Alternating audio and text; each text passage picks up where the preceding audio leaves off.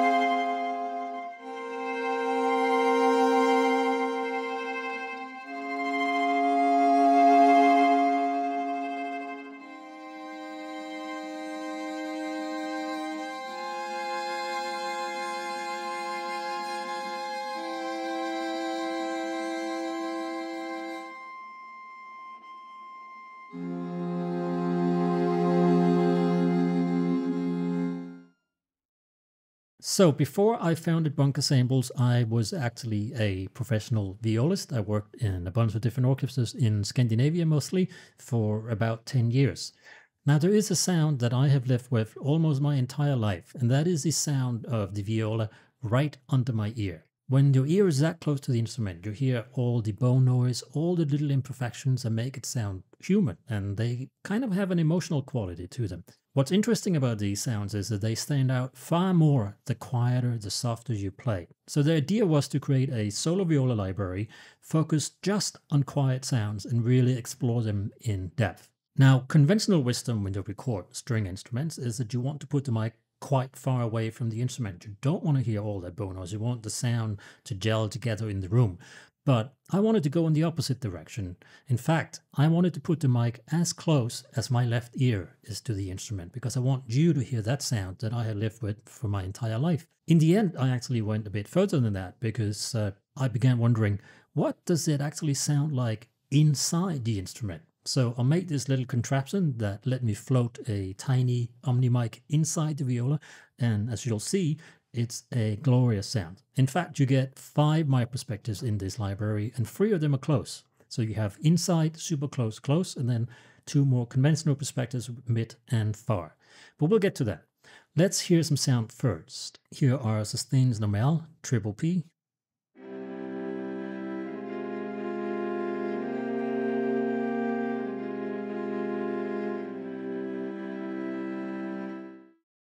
if I play that higher,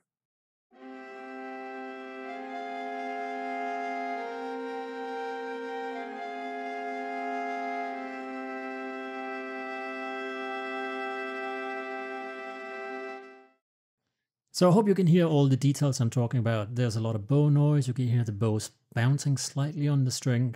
I, I just love that sound. Of course, we have dynamic control as well.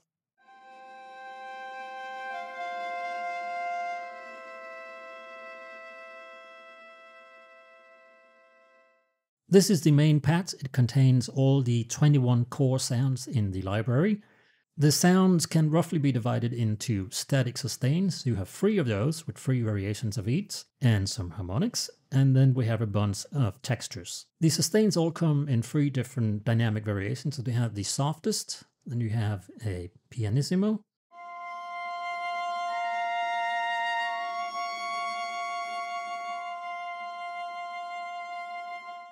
and then the loudest of the sustains, which is still a very soft sound.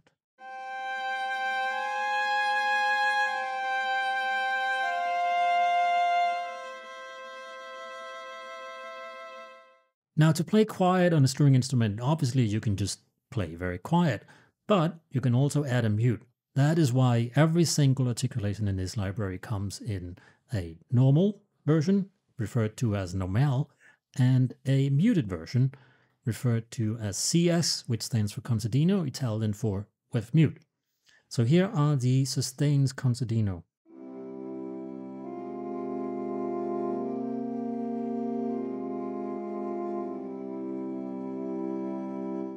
And as for all the sustains, you have a slightly louder version of that.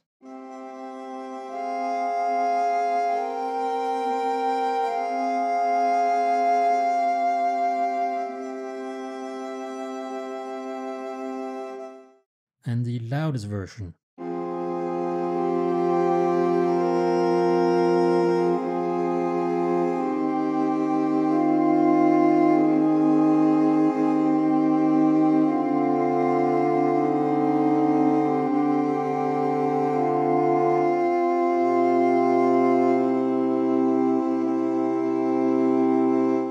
For the sustains, I recorded two different kind of mutes actually. I also have a practice mute. These are normally made of metal and sound very ugly, but this one made of rubber has a very interesting, almost hollow sound. And this is by far the quietest sound in the library.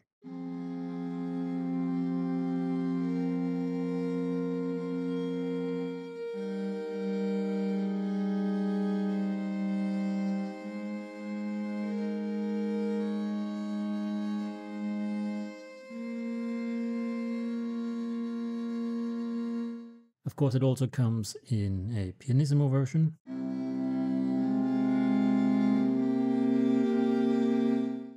And the loudest version of that sound.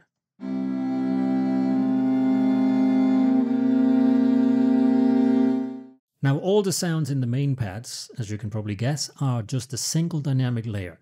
So, you have a few options for controlling what happens when you move this slider, the dynamic slider. It comes mapped to CC1 by default. And if you click here, you get a few settings. These are intensity sliders. This controls the intensity of the simulated dynamics. This controls the dynamic range and velocity control. If we turn all of them off, nothing happens. When I move the slider. If I turn this on, that activates a single band EQ under the hood, and you can determine how much you want of that. So basically it makes a sound darker when the slider is in the lower position and it makes it brighter when it's in the higher position, just like a real instrument.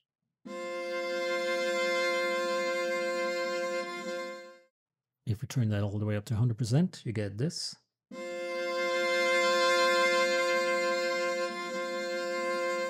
Let's turn that up for a second and listen to what the dynamic range slider does. This basically determines how much the dynamic slider affects the volume. So it's a basic volume control. So if we turn it all the way up, you'll hear what it does.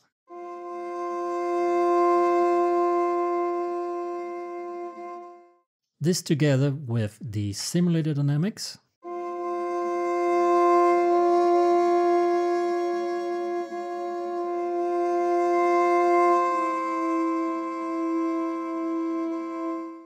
So as you can hear, even though these sounds are a single dynamic layer, they can be quite expressive and you can dial in just how expressive you want them. Velocity control determines how much velocity affects the starting volume of a note. Right now, no matter how soft or hard I play, everything starts at the same volume. But if we turn this up and I hit a key soft or hard, so this is of course great if you want to make a certain note in a chord louder than the others, the top line for example. You can close this again by clicking here or of course you can click on the X. The expression slider is basically just a secondary volume control so that can increase the dynamic range a lot if we use both of these.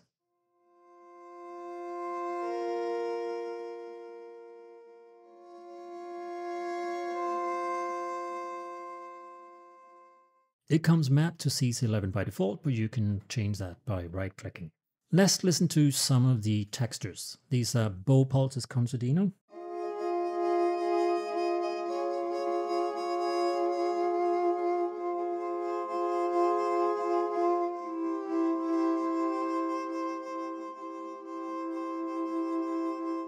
Here is the normal version of that.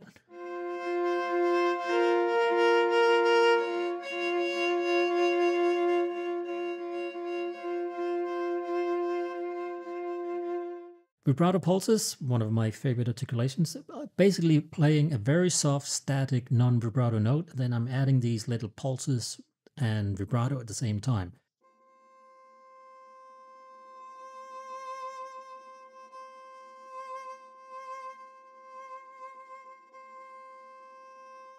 all these textural articulations are improvised. So for some of them, I'm holding the static note a bit longer. Some of them have more pulsing going on. So the idea is that if you're holding a chord, you're always getting something that's sticking out at randomly timed intervals.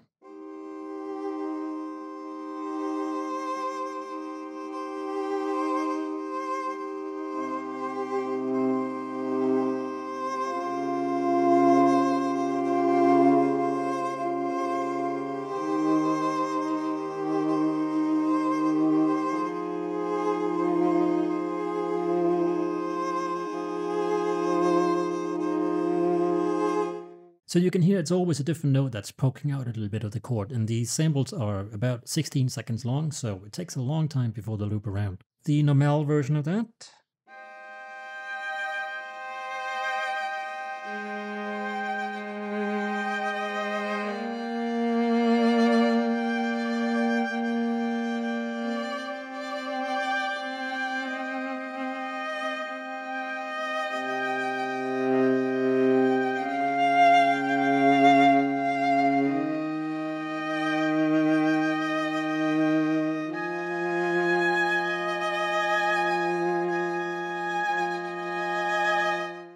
Random Rebo is basically just a data shape where I'm playing randomly.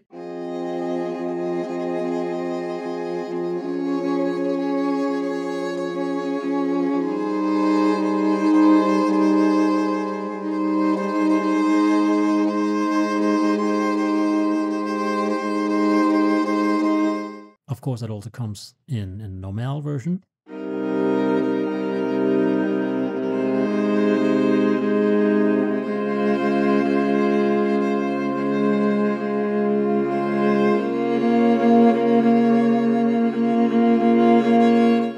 Tremolo Burst Con Sordino, you might recognize this articulation from Bunker Strings Volume 2, but here it is in a solo version, which was very much requested.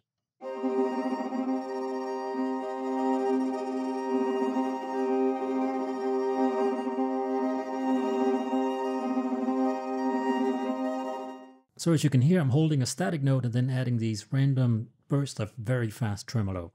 The normal version of that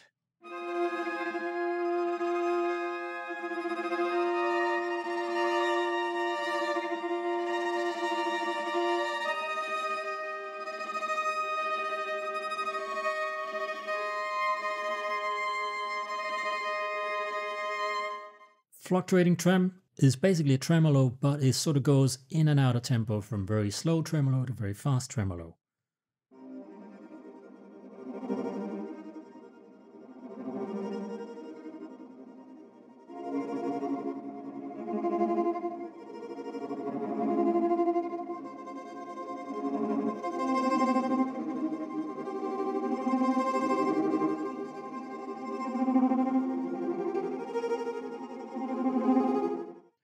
Course, it comes in normal version too.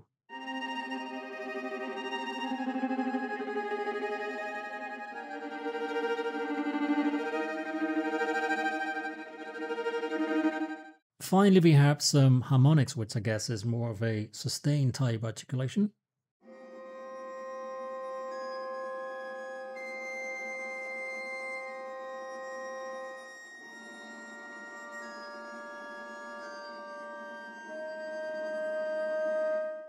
Normal version of that.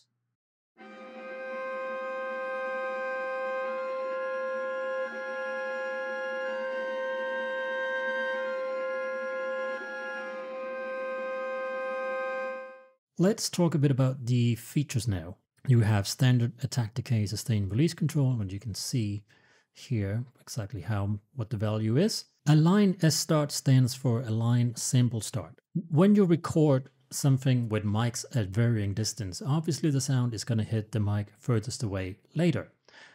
and this can cause phase cancellation, which most of the time is kind of pleasant. You want to preserve that time relationship between the different signals. What this button does, if you turn it on, is it adjusts the start time of all the mics further away to the inside mic, which is obviously the closest one to the source basically phase aligning everything to the inside mic. This creates a much darker sound, so this button is basically a sound variation. Here the uh, phase align is turned off.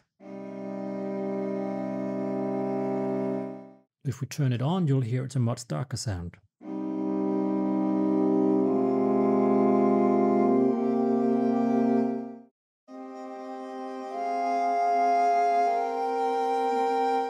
Turn it off again, play the same thing.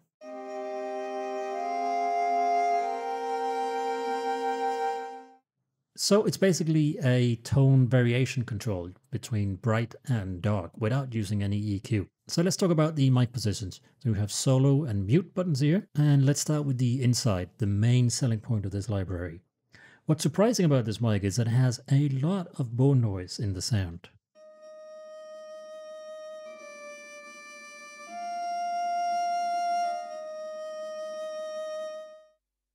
Let's hear something without mute on that.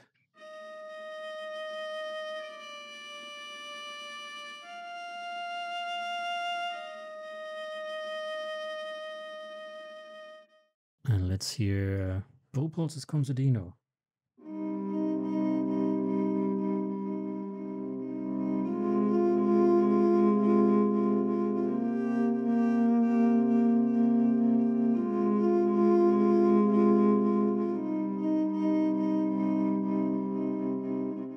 I thought the inside of the instrument would sound more like a sine wave, but you actually get a lot of the bow noise and detail in the sound as well.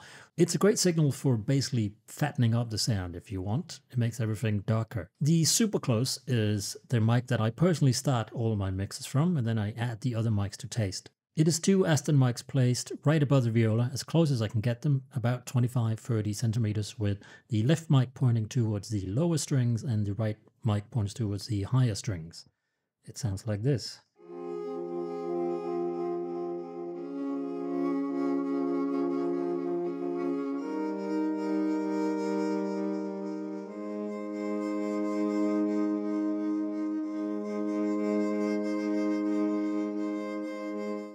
I just love that sound.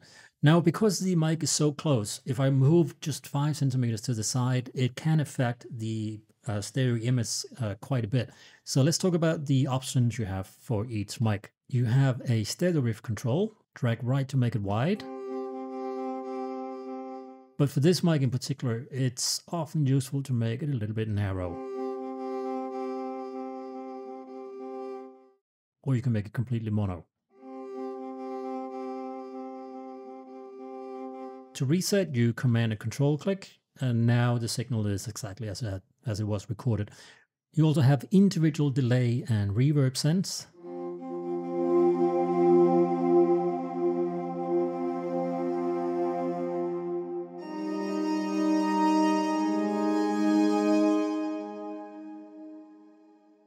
And what's great about having these sends on the individual mics, and my personal favorite thing to do is, if we go to the far mic, add just a little bit of delay send on that and keep all of the other mics as they are.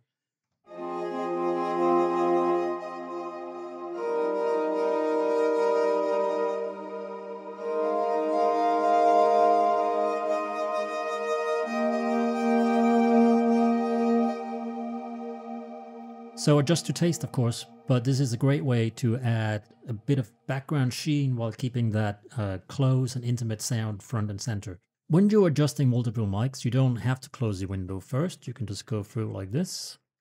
And of course, the inside mic has no stereo riff control because it's a mono signal. The final thing to talk about in the mic settings is that you can route each mic individually to Kontakt's outputs here. And if you're not seeing the output you want, you add your output here. Let's add one. So now we add a stereo 4, but we're not seeing it here. Well, what you do is you go up and restart Kontakt by clicking the exclamation mark here. And now stereo 4 is there. The benefit of doing this is of course that you can have each individual mic on its own track in your DAW so you can use your own effects on them and uh, mix directly in your session. The close mic is a more standard perspective, uh, Neumann U87 and two 184s on the side. It's about a meter away.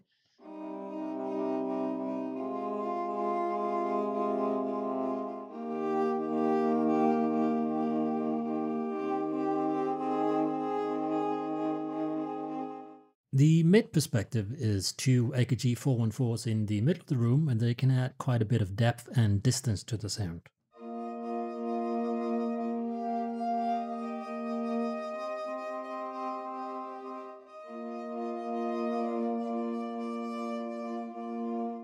Finally, we have the far perspective. That is two uh, Telefunken M60s right at the back of the room and very wide apart. So they add a good amount of depth, but also width to the signal. Let's try something different for this one.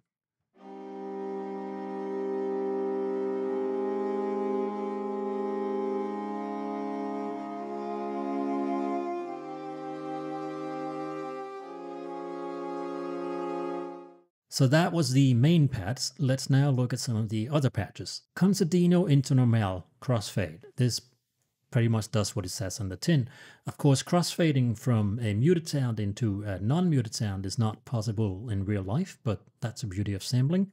On this patch, the dynamic slider becomes a crossfade, where you can go from the muted sound into the non-muted sound.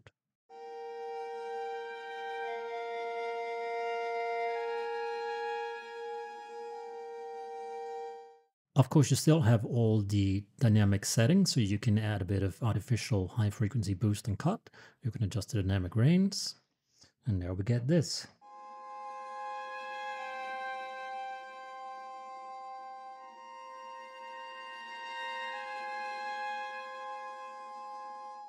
The slightly louder version of that.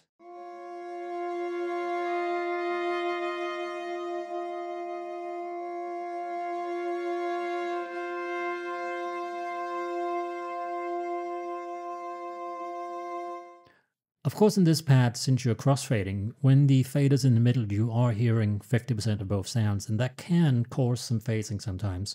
There's not a whole lot uh, I can do about that. I just want to mention it because it's the nature of the beast.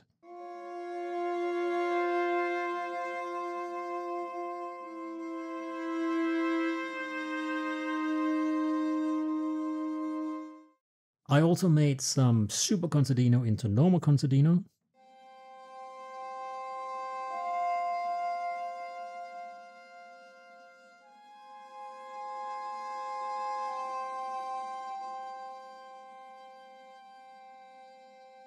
A surprisingly expressive sound. And the loudest.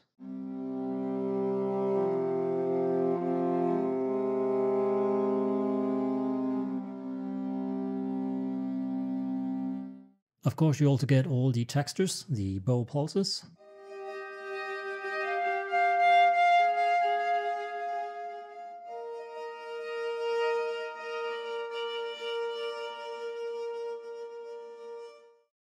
The vibrato pulses.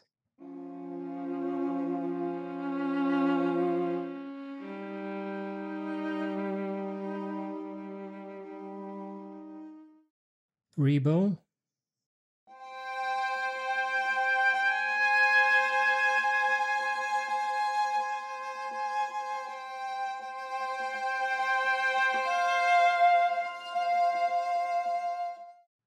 Tremolo bursts.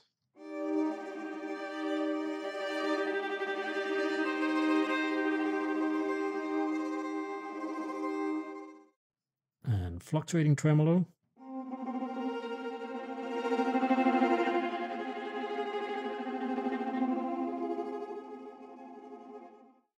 And finally harmonics.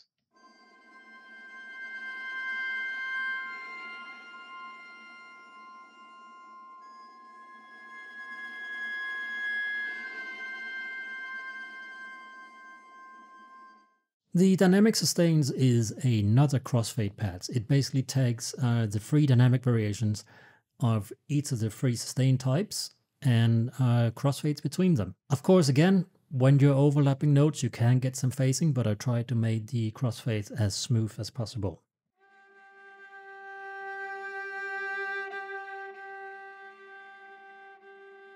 Now, because of the way it was recorded, you will hear uh, quite a change when you go from one layer to the next, but this is a quick way of moving between the layers, and then you can use the expression slider for controlling dynamics. Sustains con sordino.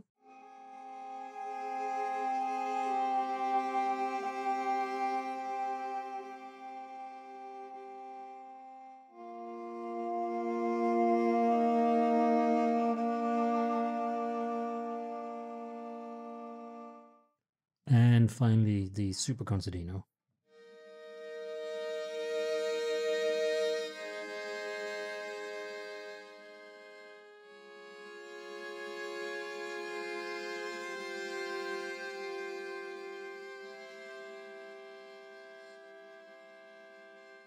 You also get a selection of recorded swells, and these were all recorded in one bow stroke, so there is no bow chains at the top of the swell.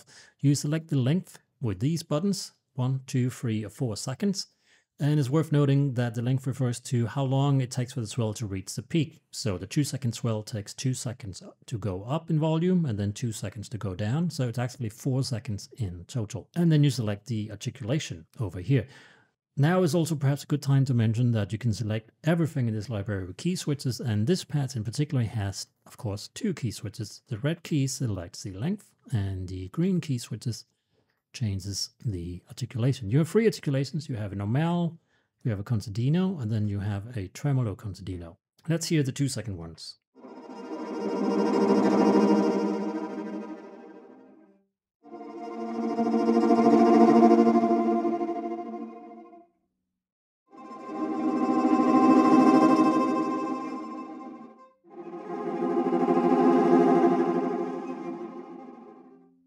Same thing con sordino.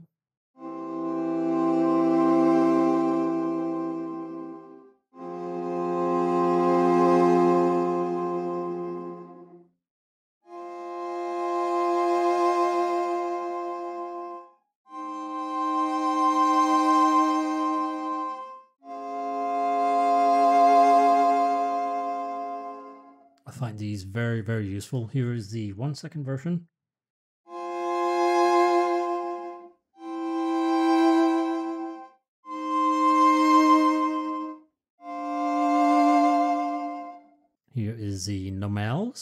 Let's take the longest one.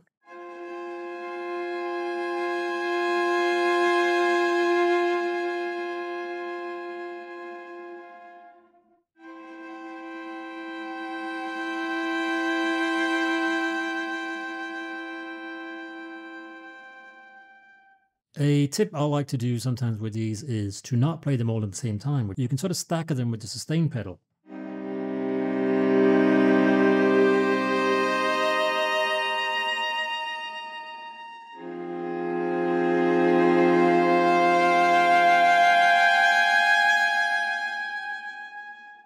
We have already talked about the delay and reverb sense, but I haven't shown you how to access the settings. It's very simple. You click here. The delay is Native Instruments Replika delay, which I absolutely love. Um, if you want to read more about all the things you can do, I recommend reading the Kontakt manual. But basically, you have five different modes here. Diffusion is particularly beautiful. So let's go back to the main and let's send a little bit of the mid and far to the delay. And now we have this.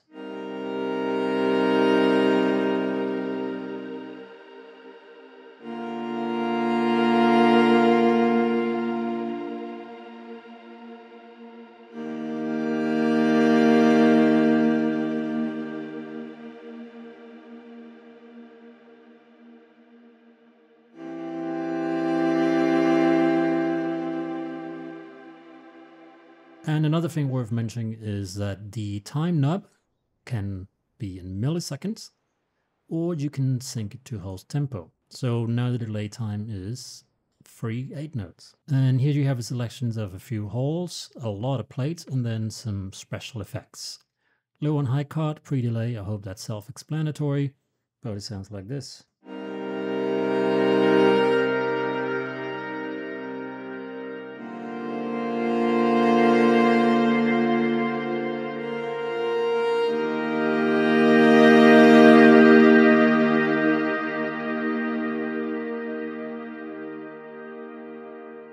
So even though this is primarily an acoustic virtual instrument, you can do a lot of interesting stuff with the uh, delay settings. Finally, I should mention that the swells also come in a Time Machine Pro version, which adds this time stretch slider here. But I recommend using this with caution and it's not tempo synced, so you're going to have to use your ears. But you can stretch the sound to about 75% of the original speed or up to 130%. Here's the original. If we make that slower, even slower. You can hear this is where it starts to sound a little bit funny with the vibrato. If we take the two seconds, this is what it sounds like normally. If we make that quicker,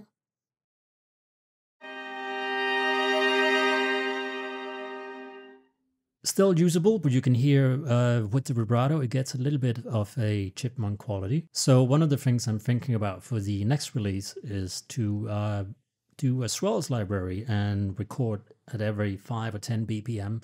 And so everything can tempo sync and still sound natural. And that is Intimate Viola Iremia. I think it's the best thing Bunker Samples has made yet. Um, I know I said that about Bunker Strings Volume 2 and I'm the developer and yada yada, but I really do think it is an incredible, useful library with a sound that you're just not going to get anywhere else.